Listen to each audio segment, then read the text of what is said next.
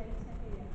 Um, it's how we drill down now and use that data and how we use it to inform our corporate priorities uh, across the borough and narrowing the gap, gap clearly is one of those key priorities. Um, but I think this is really, really helpful and it's going to help us to inform, you know, our programme of work going forward. So, you know, well done to those.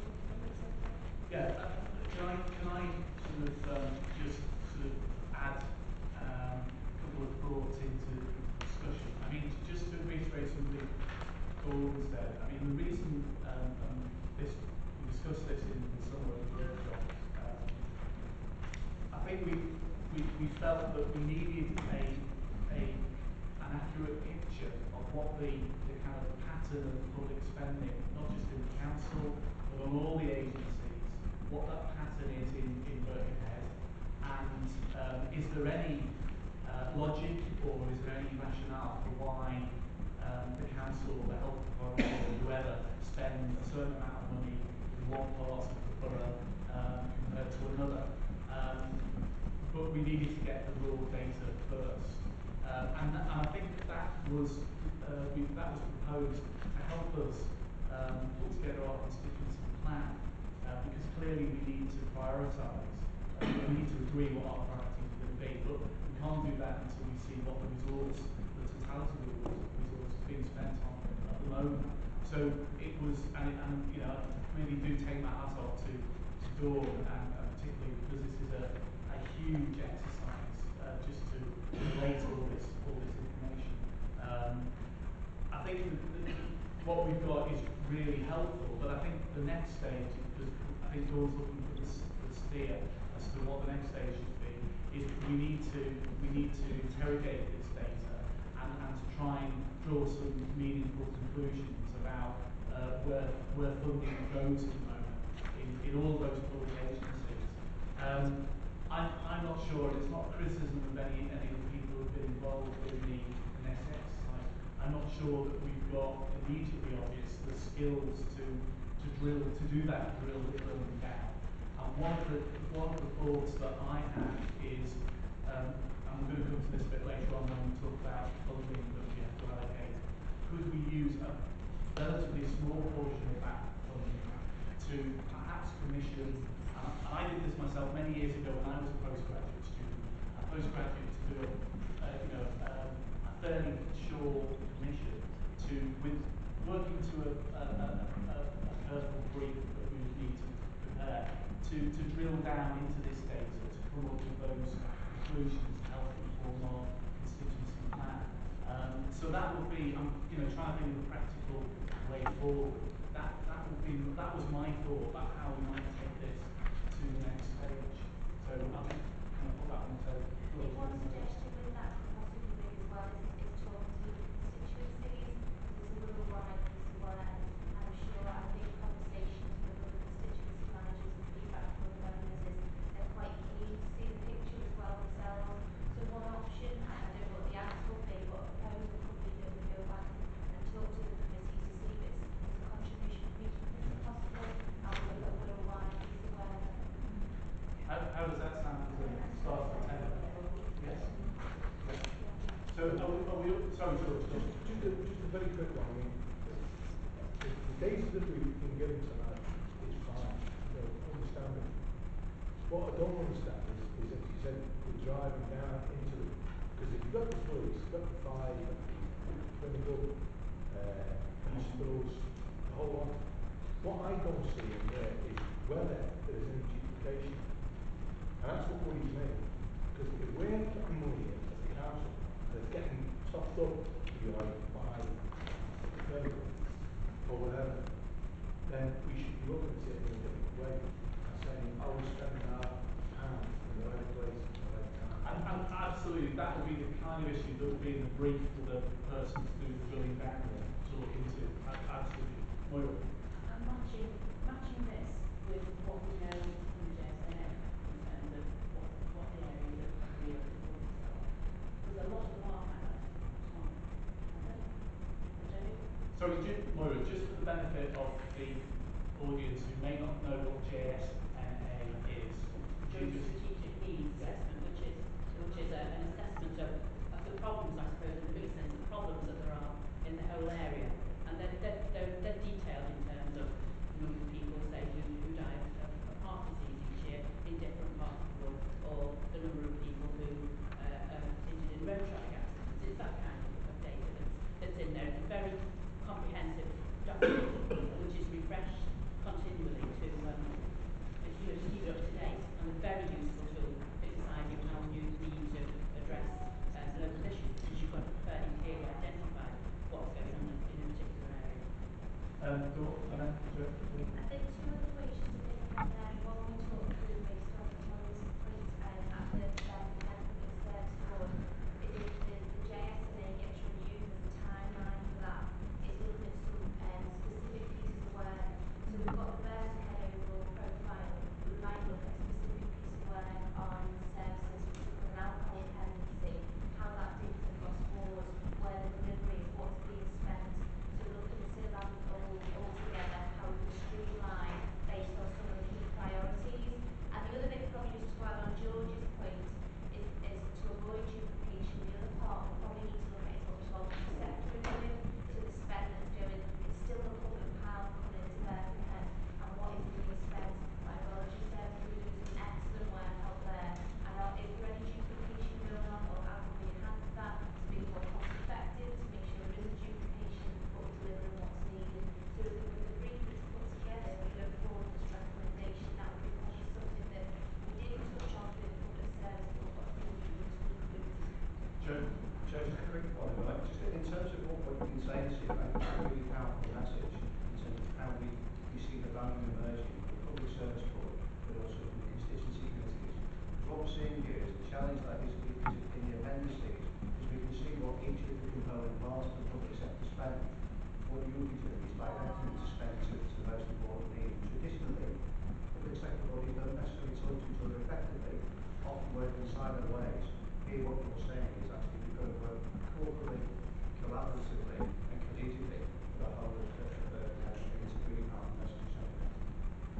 Okay, so are we, are we agreed in terms of the kind of principle of the next step? Um, I think that the mechanics, um, just, just surge it. So we, I, I think we, be good to talk to the constituency committees, see if we can do a, a, a kind of corporate kind of approach to this and share the costs. Um, but just in terms of how we would physically and practically commission somebody to do this, Sergio, could you, could you comment on that, please? Yes, thank you, Secretary Chair. Um, the committee could pass a resolution uh, where it authorises the head of neighbourhoods and engagement in consultation with the chair of the committee to secure uh, appropriate resource to undertake the needs analysis that we have identified um, and consult with the other constituency committees and so that a borough-wide approach can be adopted uh, within agreed uh, financial constraints that each uh, considers appropriate. Okay, that was the resolution. Okay. Are, we okay with that? Yes? Is that agreed? Okay, so you bring that down, that's great. Right. Just make point, I'm Yes. very much in favour of that, but I would be concerned if, if the situation developed where the other constituencies felt that they always had to have twenty-five percent of the total Yeah. overall bill. Because for example, if you look at the figures in appendix one, you'll see now the public health budget is based on thirty-nine percent of the budget is spent in Birkenhead. Whereas for example in Wirral West, it's only seventeen percent. Well, I think there's very good reasons for that. I think has already mentioned that all the figures show that if you're born and live on the east side of the Wirral, you're likely to die many years earlier than somebody born on the west side. Better get moving then. reasons.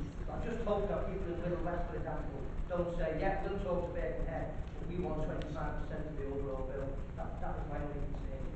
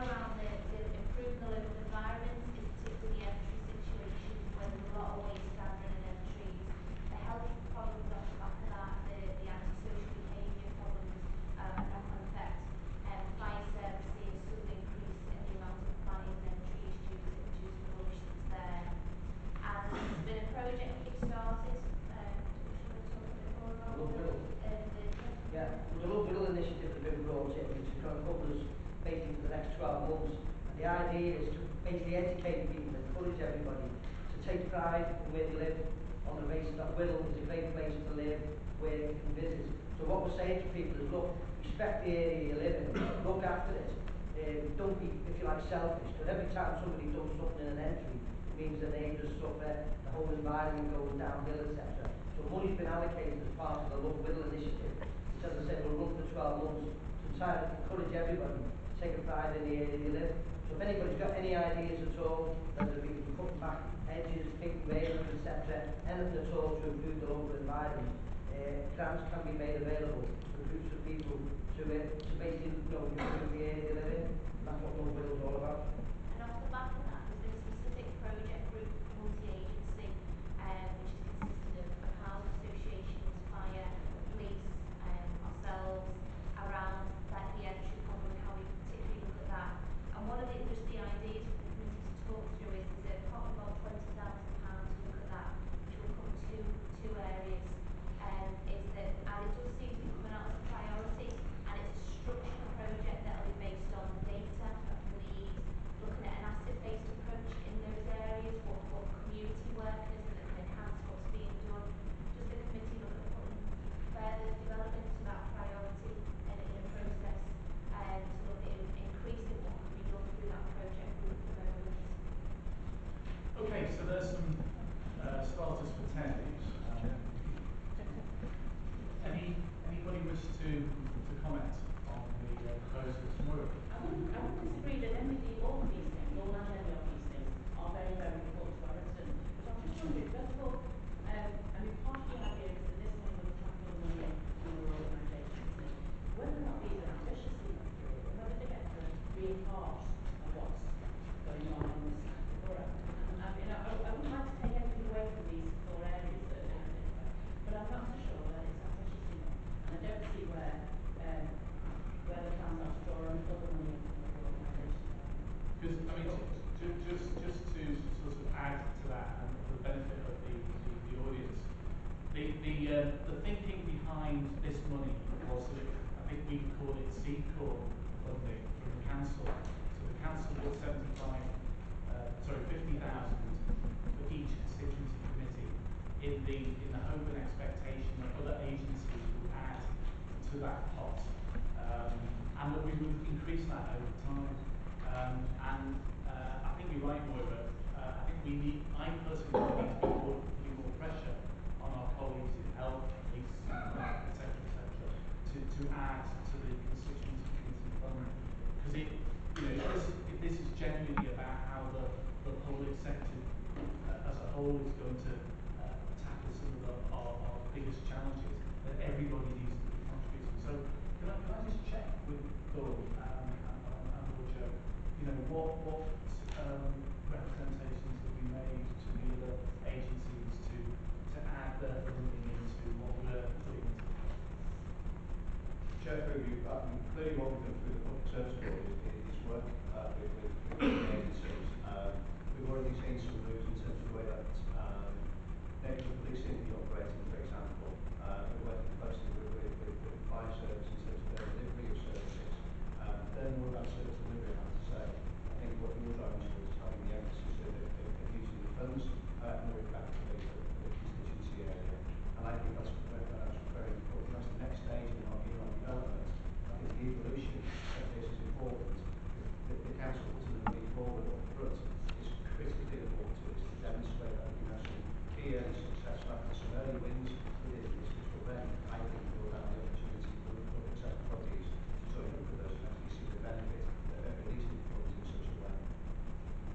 But in the meantime, we've got 75.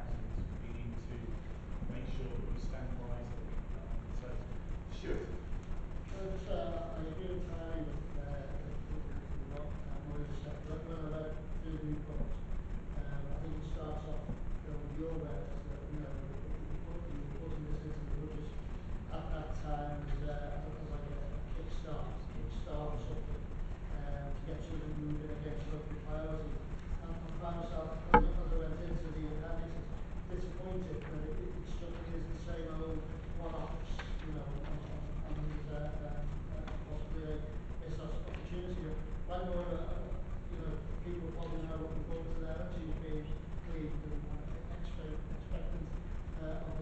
money.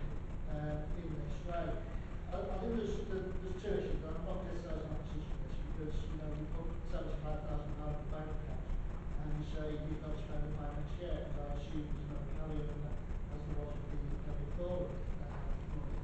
And then first meeting isn't until just before Christmas, when of course we need to uh, to do the first thing uh, in this agenda which is to develop the constituency priorities. Got the priorities, it strikes me that you can't then uh, put in place an expenditure. But the idea is to kickstart, that certainly wouldn't be uh, feasible until uh, until the new year. So a degree of disappointment, but I'm not sure that it's not rescuable because some of the suggestions that you made on the last item would, would potentially fit the bill for kickstart, uh, looking in, into some of these issues. Can, can I stick my neck out there a bit, Phil, and just try and uh, concentrate on, on the priorities? I think uh, whilst the last report was just a massive numbers, I'm afraid to me, uh, this report, the constituency profile in terms of numbers, what is happening and how it compares with other constituencies, and indeed how the all, all the wards compare together. Are of things in addition to those that have been highlighted uh, uh, by Dawn there. The first thing I've always been interested in is, is, is youth employment. It's not employment, training and else. And, and I appreciate that to acknowledge some of the late friends are talking about um, where the, the cause of somebody becoming potentially happens at age four, never mind when they leave school. And, and I wonder if that's an because when I look at the detail, the details on page 60 plus, we have huge numbers uh, in the um, in, the constituency compared with the other constituencies. It's double. Now, there must be a reason. And, I'd like a piece of where maybe as fifty thousand dollar that starts to drill down in sites and schools.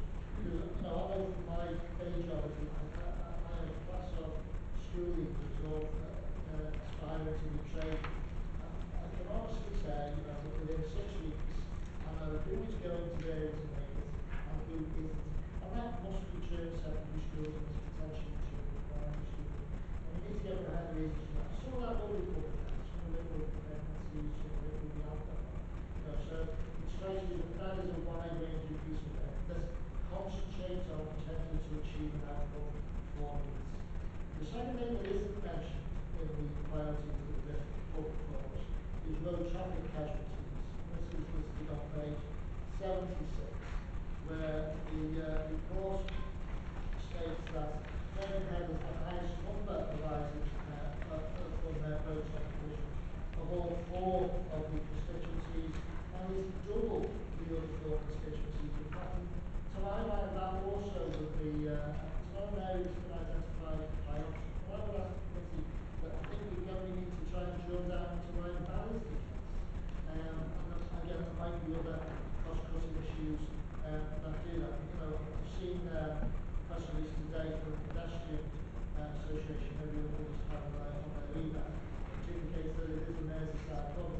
Clearly on will, uh, and that seems to stand out. So I'd like to suggest that also. The third thing um, uh, that um, I George a little bit about, uh, about this. I'm going